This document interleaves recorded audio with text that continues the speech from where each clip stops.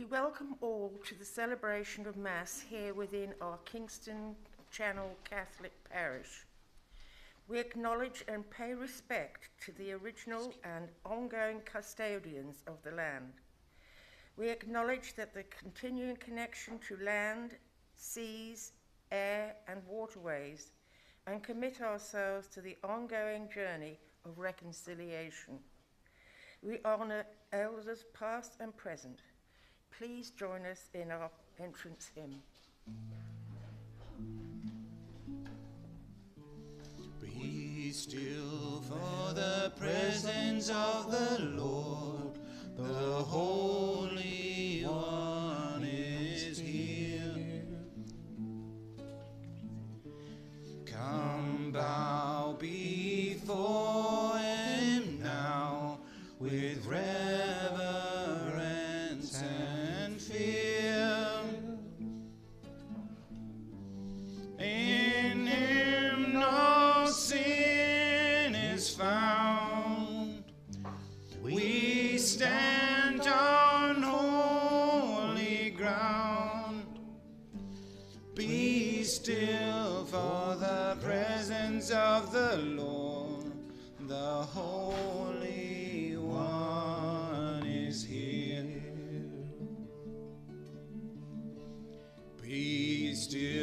for the glory of the Lord is shining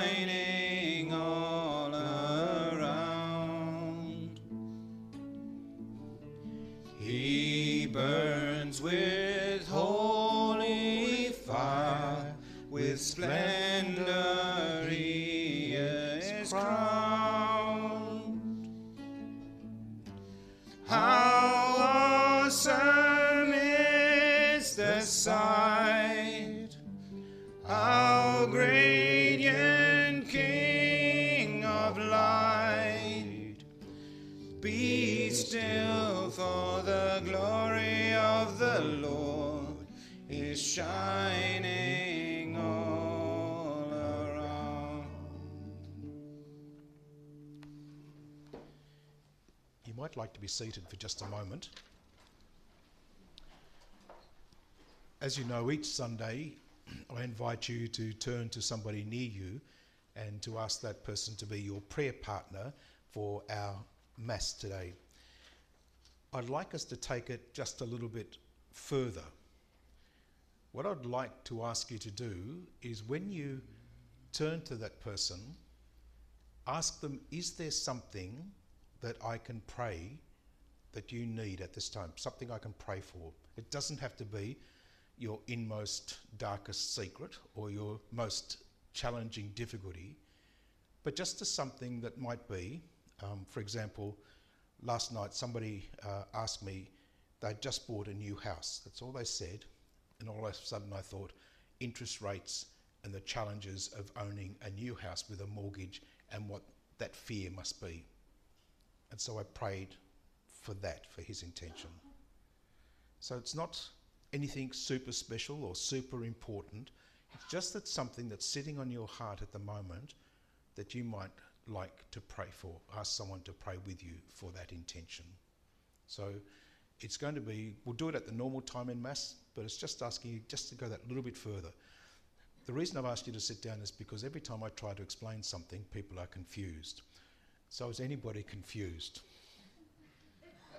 if you are, don't feel upset about acknowledging that you're confused because I do it to everyone all the time. So it's just a case of if you if you're comfortable with that, we'll do that today. So just when somebody turns to you and asks to be your prayer partner, just simply say, "Could you pray for?" And that's all you have to say. So, would you like to stand and we'll start again? In the name of the Father, and of the Son, and of the Holy Spirit. Amen. The peace of the Lord be with you always. And with your spirit. And I invite you to turn to your prayer part, or uh, find a prayer partner and ask them for heaven intentions. Hello, I'm Jan. John and Jan. Just for you, John. Okay. I'd like you to pray for my wife. Let us now place ourselves in the presence of our merciful and loving God.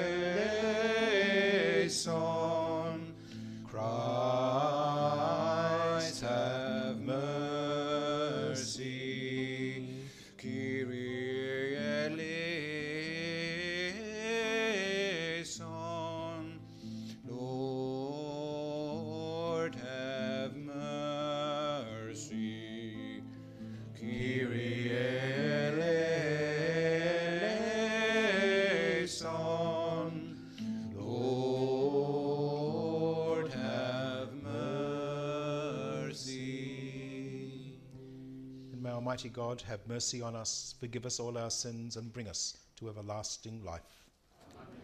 Glory to God in the highest, and on earth peace to people of good will. We praise you, we bless you, we adore you, we glorify you.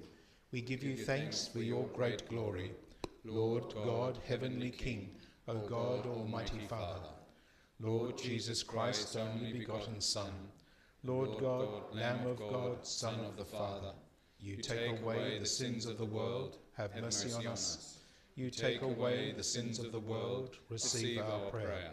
You are seated at the right hand of the Father, have mercy on us. For you alone are the Holy One, you alone are the Lord, you alone are the Most High Jesus Christ, with the Holy Spirit, in the glory of God the Father. Amen. Let us pray.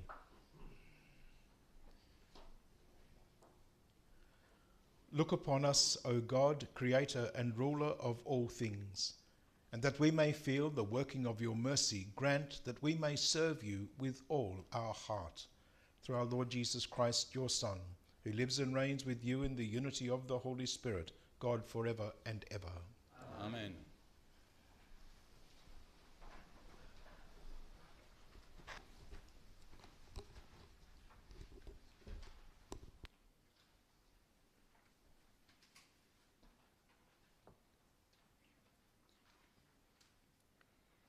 From the book of Exodus.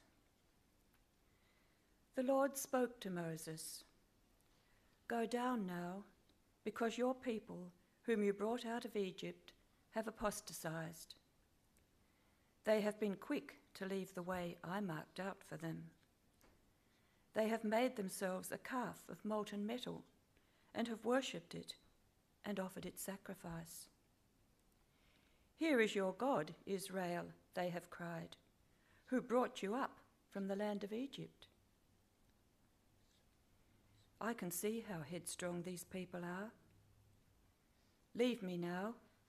My wrath shall blaze out against them and devour them. Of you, however, I will make a great nation. But Moses pleaded with the Lord his God. Lord, he said, why should your wrath blaze out against this people of yours, whom you brought out of the land of Egypt with arm outstretched and mighty hand? Remember Abraham, Isaac, and Jacob, your servants, to whom by your own self you swore and made this promise I will make your offspring as many as the stars of heaven, and all this land which I promised I will give to your descendants, and it shall be their heritage forever. So the Lord relented and did not bring his people the disaster he had threatened. The word of the Lord.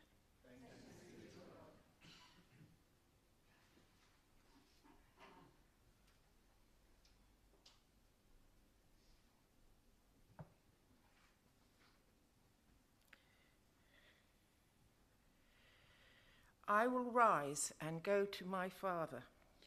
I will rise and go to my father. Have mercy on me, God, in your kindness.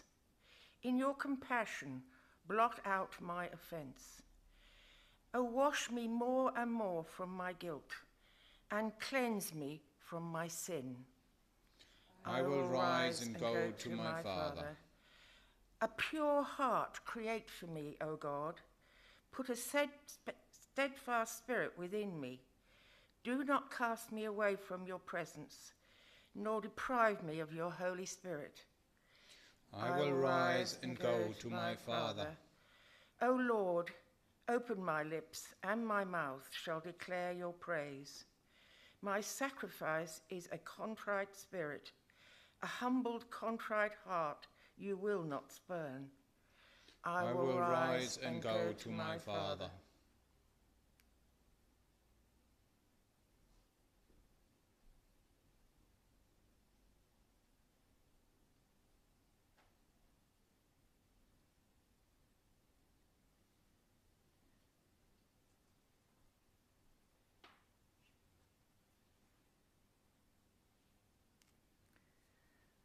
From the first letter of St. Paul to Timothy. I thank Christ Jesus our Lord, who has given me strength, and who judged me faithful enough to call me into his service, even though I used to be a blasphemer, and did all I could to injure and discredit the faith. Mercy, however, was shown me, because until I became a believer, I had been acting in ignorance. And the grace of our Lord filled me with faith and with the love that is in Christ Jesus.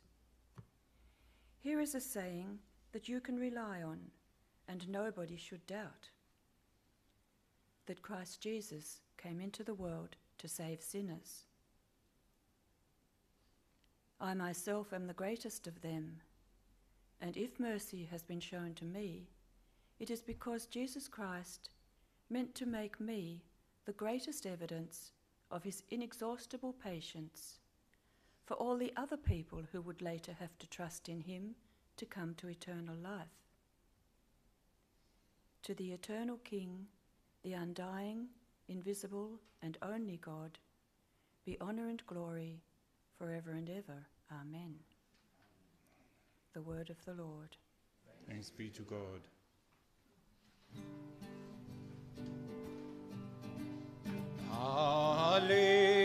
Hallelujah, hallelujah, hallelujah, hallelujah. God was, Was in Christ to reconcile the world to himself, And the good news of reconciliation he has entrusted to us. Hallelujah, hallelujah, hallelujah, hallelujah.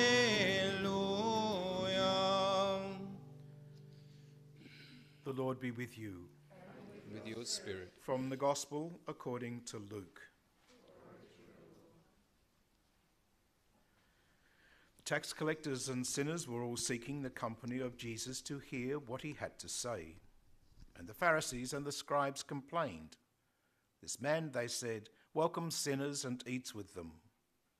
So he spoke this parable to them.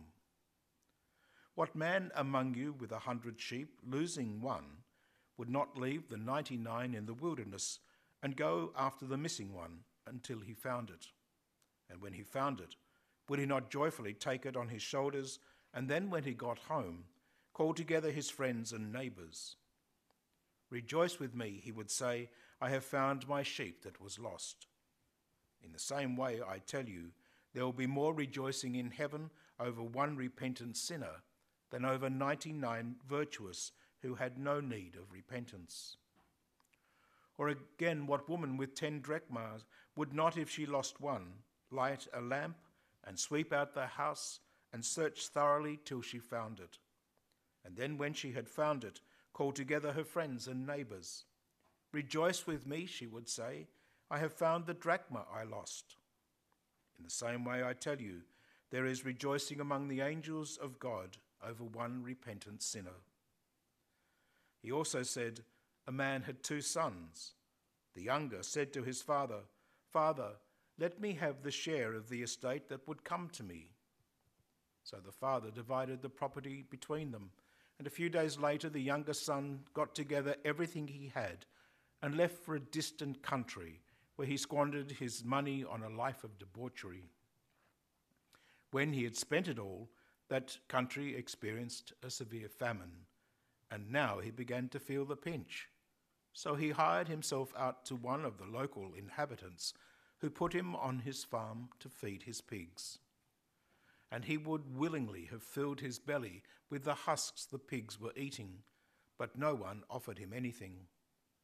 Then he came to his senses and said, How many of my father's servants have more food than they want, and here am I dying of hunger? I will leave this place and go to my father and say, Father, I have sinned against heaven and against you. I no longer deserve to be called your son. Treat me as one of your paid servants. So he left the place and went back to his father. While he was still a long way off, his father saw him and was moved with pity.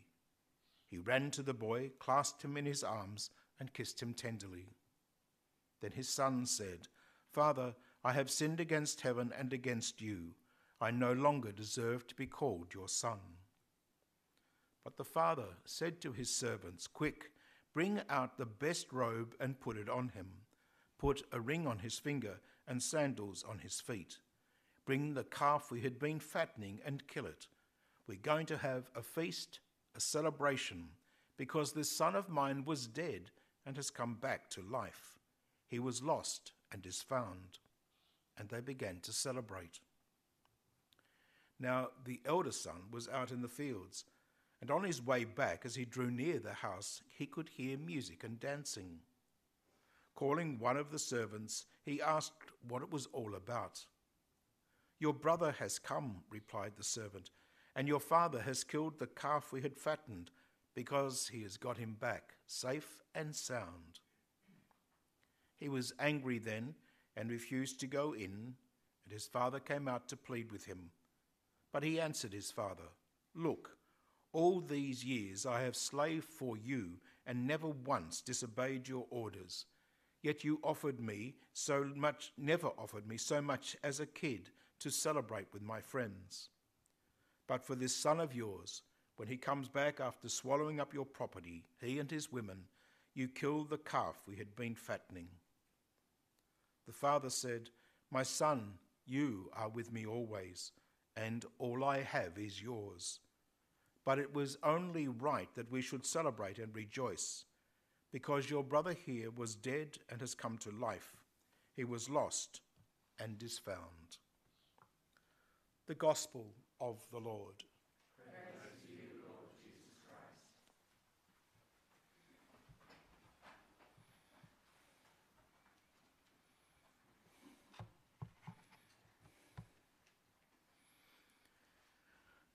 Today we begin, well, we're on week two of the message series that we've called What Will It Cost?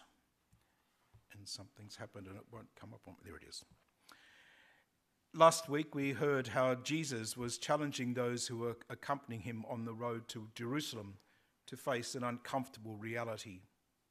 He told them, If anyone comes to me without hating father, mother, wife, children, brothers, sisters, and their own life too, they cannot be my disciple. And then he added another challenge. He said to them, Anyone who does not carry his cross and come after me cannot be my disciple. This is a theme that's been running through these last few weeks where Jesus is reminding the people that they cannot afford to be an observer, a theatre goer, watching what's going on. If we're to be a disciple, a Christ follower, means we have to be in the midst of what is happening. And it's a good point just for a moment to think about what was the context of history at the time that Luke was writing this gospel. It's about the year 70 the temple in Jerusalem has been destroyed and the people have been subjected to incredible persecution and torture. So when they're talking about carrying their cross, they're not just recognizing that Jesus carried the cross to his suffering and his death, but then through the glory of the resurrection was restored to us. But here, these people are thinking of their own family and friends, people whom they knew who have also been subjected to the cross, the persecutions that followed the death of Jesus. So when he's talking about carrying the cross, he's not talking about something that we might think is a sickness or an illness for us to bear. The people were hearing that this was that what could happen if they were arrested for being a Christ follower. So if you were a member of a family and part of your family wasn't really supportive or encouraging of you being a Christ follower, then they could report you and you could be arrested and you would be crucified. So, Jesus' words, unless you're prepared to give up your life and carry my cross, then you cannot be my disciple. They're not idle words. They are words that impact incredibly on the life of every single person who is there. And so Jesus' words here are really, really challenging. They're putting right into the midst of what's happening the reality that so many people were actually experiencing. We know that the support of those around us is important. And if we find that we're not getting that support, if we're not being encouraged in our faith, then things can go very badly wrong. And we hear a situation like that in our first reading from the book of Exodus today. Moses has been called to the mountaintop to receive from the Lord the Ten Commandments, the law of the people of God, to renew the covenant that God had created for his people. The people are down in the valley, and like everyone who's sitting around waiting, there's a sense of impatience. What's happening? Why are we here? We've all heard kids saying, Why are we waiting? Why are we here? What's it about? And the people were like that. And so they went to Aaron, and Aaron foolishly accepted, I've got to do something to keep them quiet. I've got to keep, do something to keep them under control. And so he asked for them to bring their jewelry, their gold, and he made for them a molten calf. He wanted to stop them complaining against God, and in fact, did exactly the opposite to what God really wanted. And so we hear God say to Moses, Leave me now. My wrath shall blaze out against them and devour them. But even in the midst of God's anger, there is still hope for the people because God says to Moses, Of you, however, I will make a great nation. Now, a few weeks ago, we heard Abraham with his audacious prayer trying to save the people of Sodom. If I can find just 10 good men, will you save the people? And God said, Yes. So Moses, in a similar kind of vein, looks to God and says, Lord, should, why should your wrath blaze out against this people of yours, whom you brought out of the land of Egypt? Remember Abraham and Isaac and Jacob. So Moses pleads with God, Please don't do this to your people. Give them another chance. And we know that as God relented with Abraham, he says to Moses, uh, God relented and did not bring out bring on his people the disaster he had threatened. If we were to read just the Old Testament, we would have an image of God who, for the most part, is a vengeful God, a judging God. There are some books in the Old Testament, the book of Hosea is one of them, where God is shown to be a merciful God.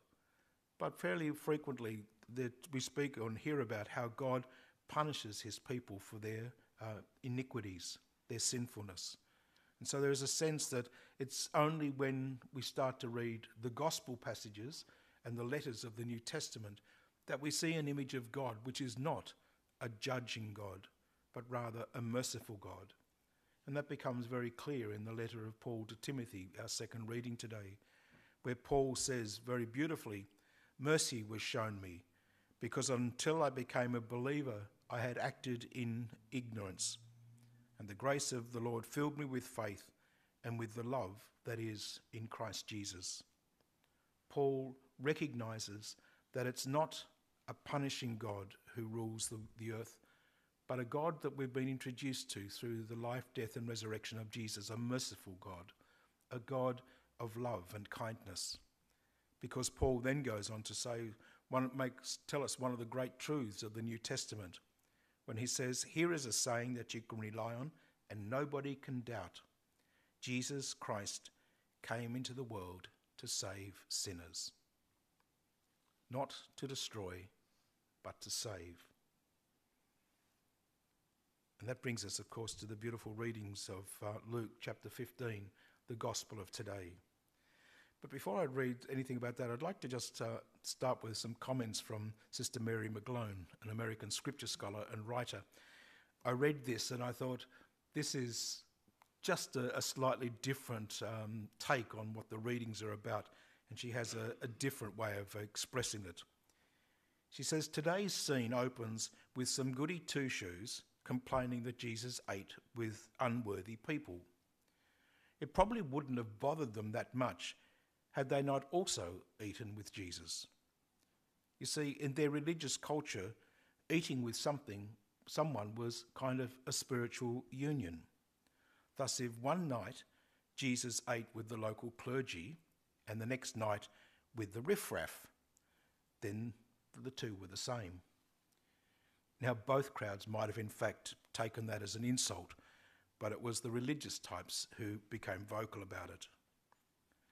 So, in reply, she says, Jesus prepped the crowd for one of his most famous stories with a couple of outlandish prequels. First, he suggested that a shepherd might leave 99 sheep to wander off the nearest cliff while he went chasing for the one that had wandered off from the flock. And then he tells the story of a woman so distraught about losing one coin that she wore down her broom, used oil, all the oil in her lamp to search for it, and then threw a party that surely cost more than the lost and found drachma. With the audience warmed up for the clincher, Jesus opens with the line A man had two sons.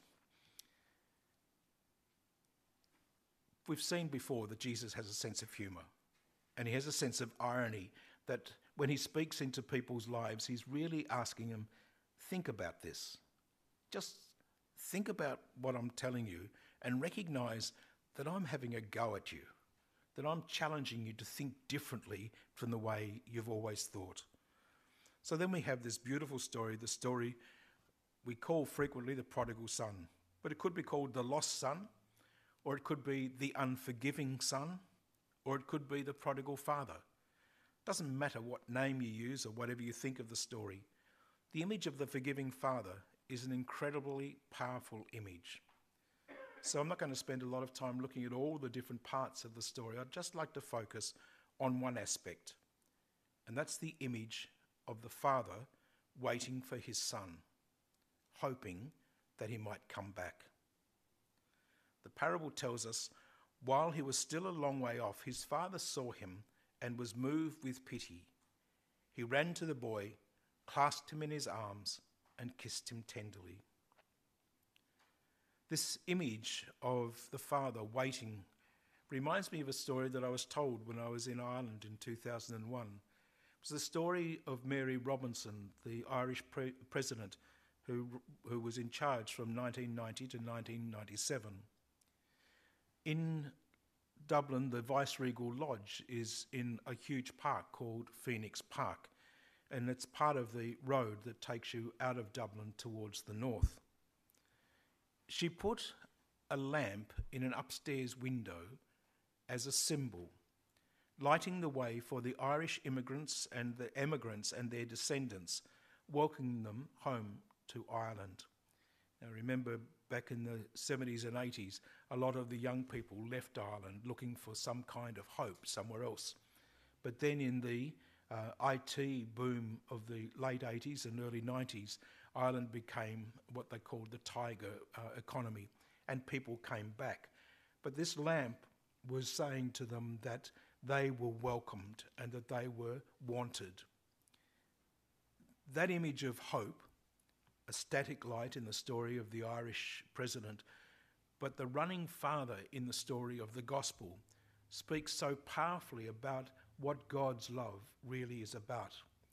Because what the Father did was totally and completely out of character. No one would have thought that the Father running down the road, chasing this son who would have still been, just think about it, in the clothes he'd worn in the pigsty, and his father, dressed in his normal garments, runs down the road and embraces him. There is no decorum at all in this action. It is total and complete love.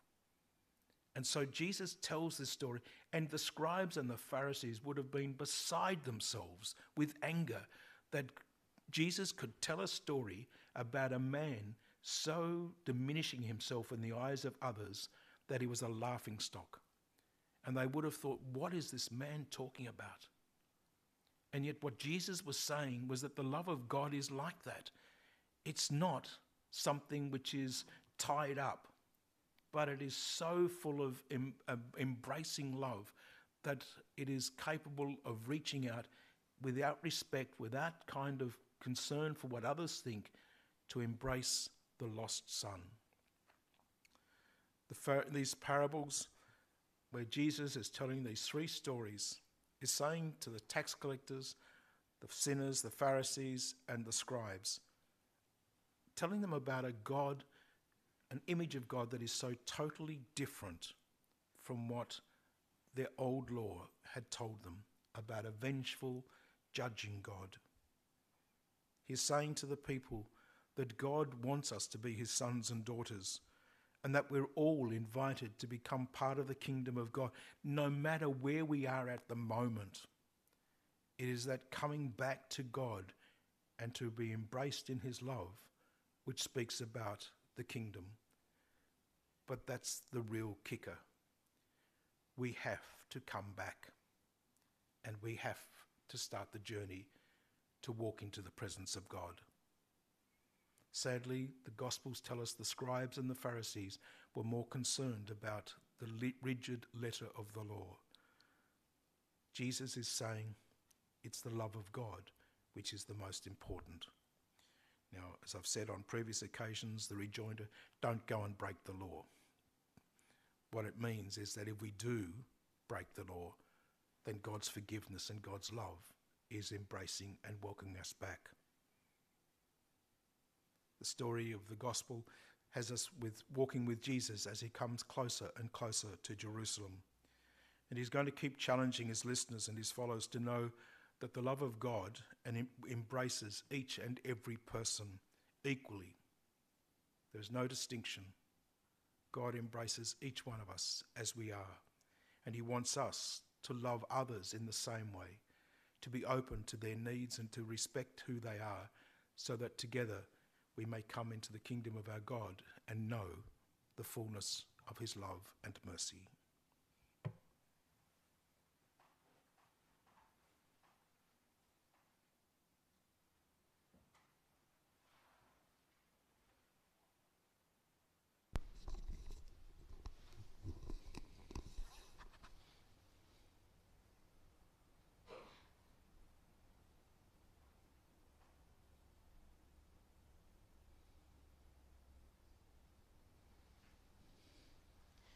Together, let us now make our profession of faith. I believe in God, the Father Almighty, creator of heaven and earth, and in Jesus Christ, his only Son, our Lord, who was conceived by the Holy Spirit, born of the Virgin Mary, suffered under Pontius Pilate, was crucified, died, and was buried. He descended into hell. On the third day, he rose again from the dead. He ascended into heaven and is seated at the right hand of God the Father Almighty. From there he will come to judge the living and the dead. I believe in the Holy Spirit, the Holy Catholic Church, the communion of saints, the forgiveness of sins, the resurrection of the body, and life everlasting. Amen.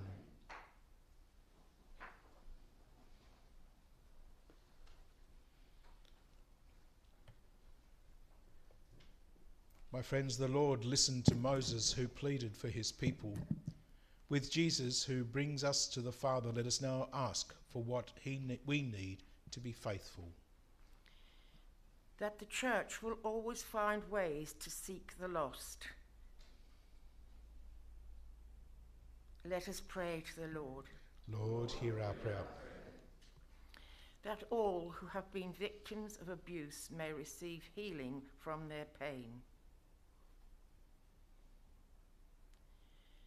Let us pray to the Lord. Lord, Lord, hear our hear prayer. our prayer. For those who feel rejected or abandoned, let us pray to the Lord. Lord, Lord, hear, hear our our prayer. That our children preparing for First Eucharist may know the love of God. Let us pray to the Lord. Lord, Lord, hear, hear our prayer. our prayer. That the sick will know they are not forgotten. Let us pray to the Lord. Lord, Lord, hear, hear our our prayer. prayer. that those who have died will enjoy the reward of eternal life, especially Mark Doran, Queen Elizabeth, Anna Lou Bernard, recently deceased. Let us pray to the Lord Lord, hear our prayer. that God will answer the prayers of this community.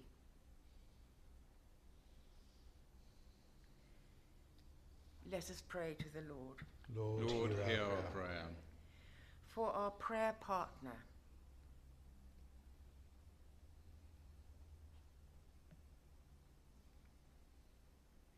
Let us pray to the Lord.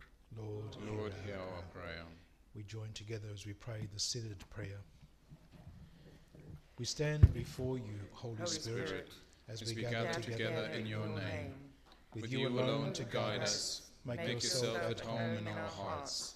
Teach, Teach us the way we must go and how we are to pursue it. We are weak and sinful. Do Do not let us promote disorder.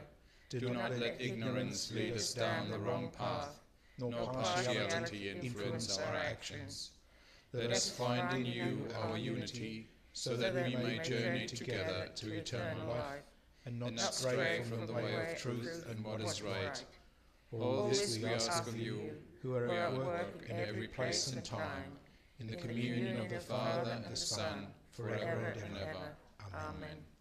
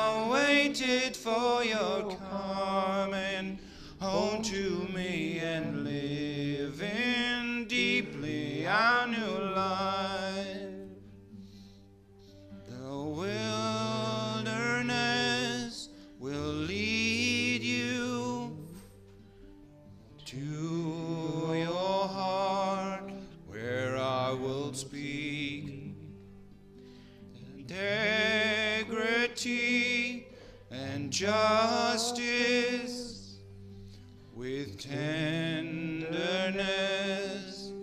you shall know. Long have I waited for your coming home to me and living deeply our new life. You shall sleep secure with peace. Faithfulness will be your joy. Long have I waited for your coming home to me and living deeply our new life.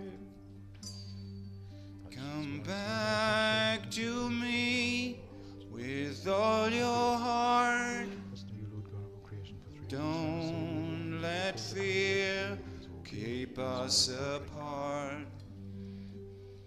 Trees do bend, though straight and tall. So must we to others call. Long have I waited for your coming home to me and living deeply our new life. Pray, my friends, that my sacrifice and yours may be acceptable to God the Almighty Father. Lord, accept this sacrifice at your hands for the praise and glory of his name, for our good and the good of all his holy church. Look with favour on our supplication, O Lord, and in your kindness accept these your servants' offerings, that what each has offered to the honour of your name may serve the salvation of all, through Christ our Lord. Amen. The Lord be with you. And with your spirit, Lift up your hearts we lift them up to the Lord. and let us give thanks to the Lord our God. It is right and just. It is truly right and just, our duty and our salvation, always and everywhere to give you thanks, Lord, Holy Father, Almighty and eternal God. For when your children were scattered afar by sin, through the blood of your Son and the power of the Holy Spirit, you gathered them again to yourself, that a people formed as one by the unity of the Trinity, made the body of Christ and the temple of the Holy Spirit, might to the praise of your manifold wisdom be manifest as the church. And so, in company with the choirs of angels, we praise you, and with joy we proclaim.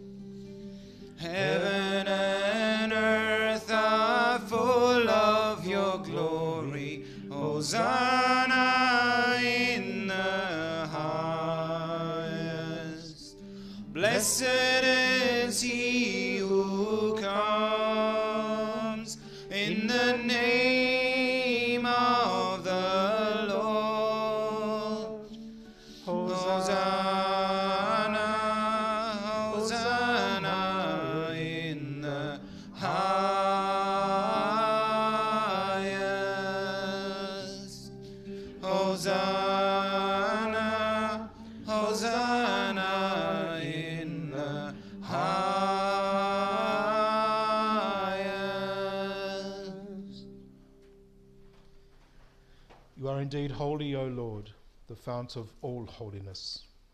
Make holy, therefore, these gifts, we pray, by sending down your Spirit upon them like the dewfall, so that they may become for us the body and blood of our Lord Jesus Christ. At the time he was betrayed and entered willingly into his passion, he took bread and giving thanks, broke it, and gave it to his disciples, saying, Take this, all of you, and eat of it, for this is my body, which will be given up for you.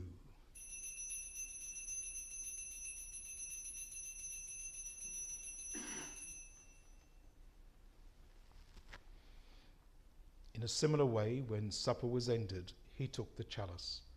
And once more giving thanks, he gave it to his disciples, saying, Take this, all of you, and drink from it.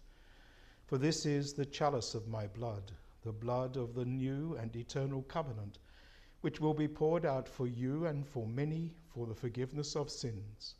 Do this in memory of me.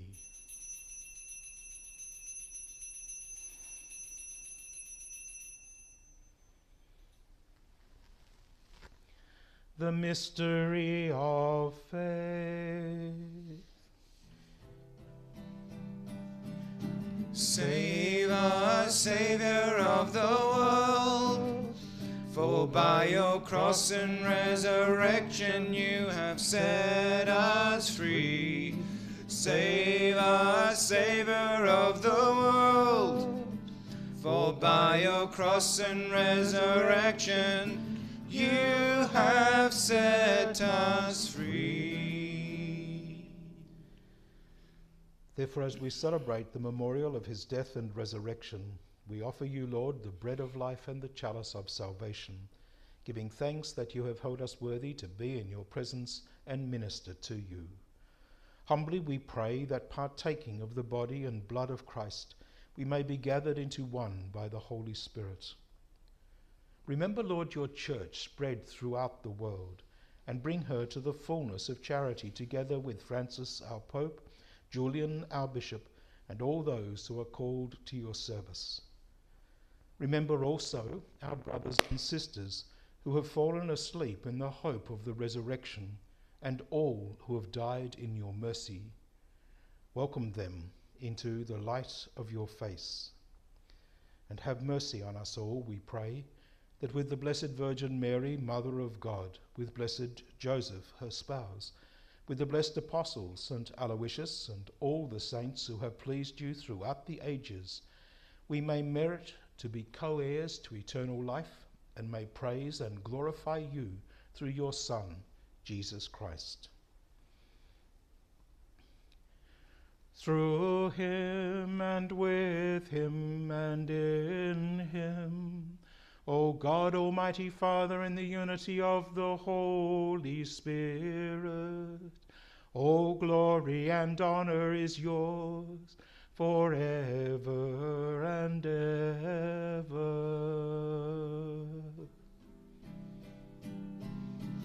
Amen.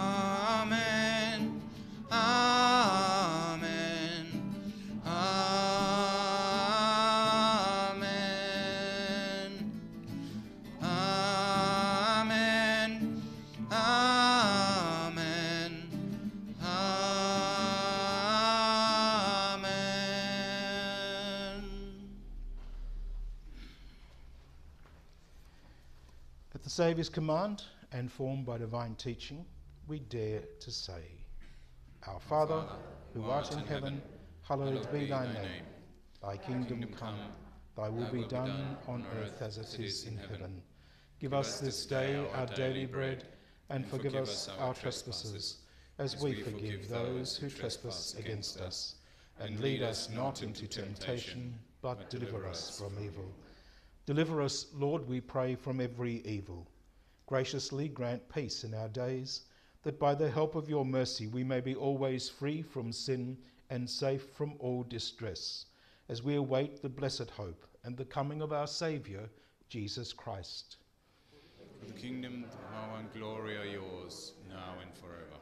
Lord Jesus Christ, who said to your apostles, Peace I leave you, my peace I give you. Look not on our sins, but on the faith of your church, and graciously grant her peace and unity in accordance with your will, who live and reign for ever and ever. Amen. The peace of the Lord be with you always. And with your spirit, Let us offer those nearest a sign of Christ's peace. Peace with you. peace be with you, Onos. Peace be with you. John, peace be with you.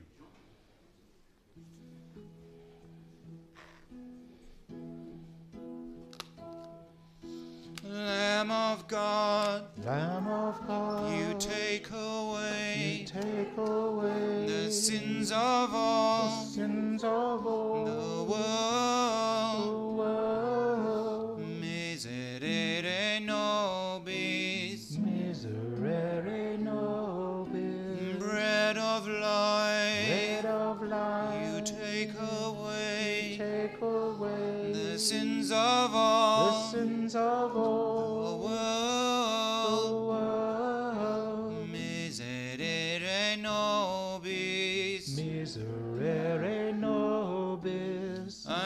Agnus Dei, Agnus Dei, you take you away take away the sins of the all sins of the all world. the world. Dona nobis pacem, Dona nobis pacem.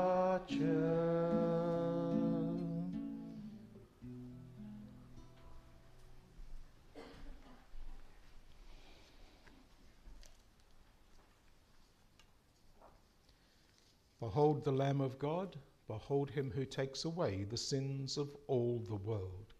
Blessed are those who are called to his supper. Lord, I am not worthy that you should enter under my roof, but only say the word, and my soul shall be healed.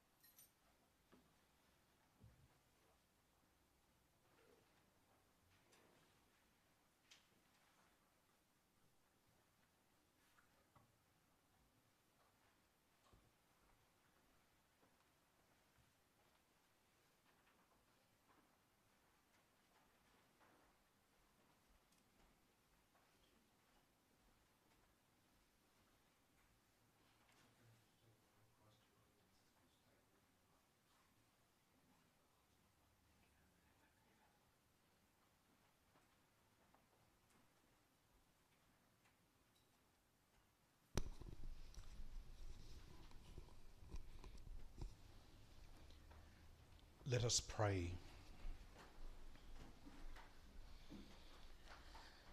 May the working of this heavenly gift, O Lord, we pray, might take possession of our minds and bodies, so that its effects and not our own desires may always prevail in us. Through Christ our Lord. Amen. Amen. I know it's still a couple of weeks till the first Sunday of the month, but the first Sunday of October is the day when we have um, a blessing of pets. So I'm just uh, warning you or inviting you to um, have uh, your pets at the ready to come to that uh, mass on the first Sunday of uh, October. Unfortunately, we won't have our pet possum this year. Um, Andy didn't bequeath that to anybody when he left, so um, so we've uh, no pet possum, but you're most wel- Have you got a pet possum? Oh yeah. Okay. Well, possum, you can bring it. a reminder um, in the newsletter it, uh, it says that there's no mass on Wednesday. We have a pastoral conference on Wednesday, and that starts at 9:30. And so, getting over the mountain to Newtown between 9:30 and 9:30 is not actually a possibility. So, unfortunately, we can't have mass on Wednesday. The other masses are in the newsletter, and other information about the parish can be found there as well. Have a great week, and please stay safe. The Lord be with you. May Almighty God bless you, the Father, the Son, and the Holy Spirit. Amen. Go in the peace of Christ to love and to serve the Lord. Thanks be to God. May the Spirit of Christ be our hope through the day, be our guard through the night, our companion on the way. Christ be ever before us, Christ be ever behind us, Christ be ever within. May the Spirit of Christ be our hope through the day, be our guard through the night, our companion on the way.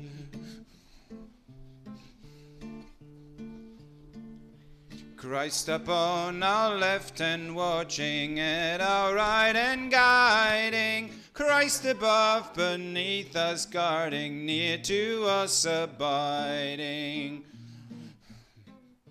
May the Spirit of Christ be our hope through the day, be our guard through the night, our companion on the way.